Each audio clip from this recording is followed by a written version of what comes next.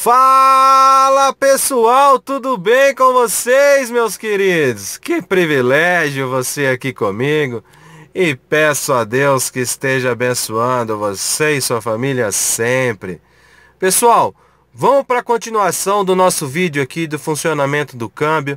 Eu gostaria aí de tirar a dúvida de alguns amigos aqui do canal, tá? Referente. Rodrigo, quais posições aqui, como você faz a parada desse câmbio, por exemplo, em um ponto que seja inclinação, ou seja, numa subida.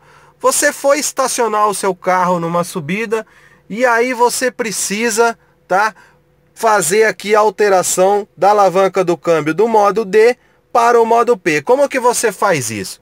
Pessoal, deixa eu passar para você a sequência é, que já aconteceu comigo tá? E com certeza vai acontecer com você. Então é assim, ó. Toda vez que eu saio com esse carro, você aí saiu, colocou no modo D, tá? Então vamos supor, saí aqui com o carro, tô no modo D, como a gente pode ver no painel.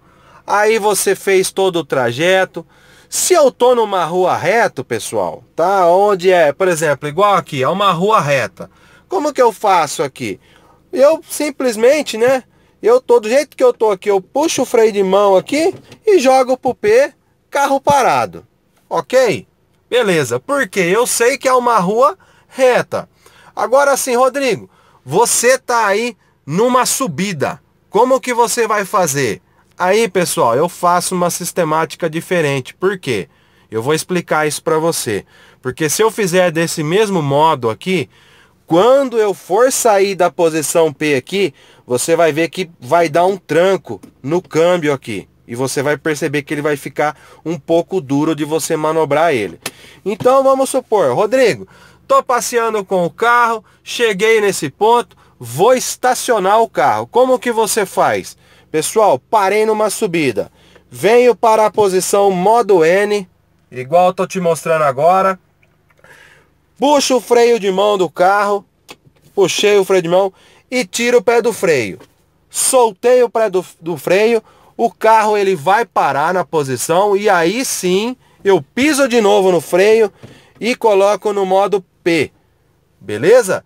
Então isso é o que eu faço. Porque quem está segurando o carro agora é o freio de mão que na verdade essa é a finalidade. Não seria a finalidade do modo P aqui segurar o seu carro, tá?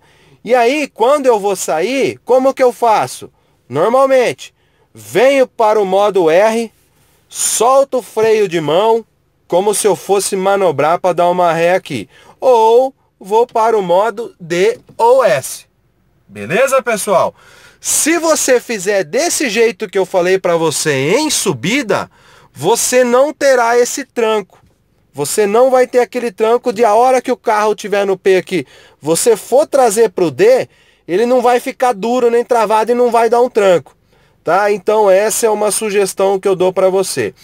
Eu faço isso. Se eu tô numa rua reta, eu puxo o freio de mão do carro e jogo para o modo P.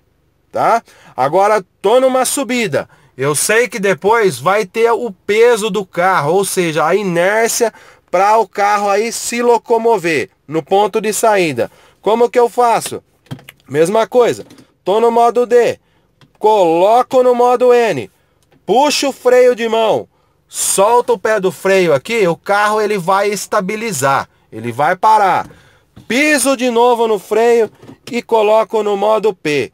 Feito isso daqui, pessoal, você não vai ter aí o tranco, tá? E eu posso afirmar isso a você.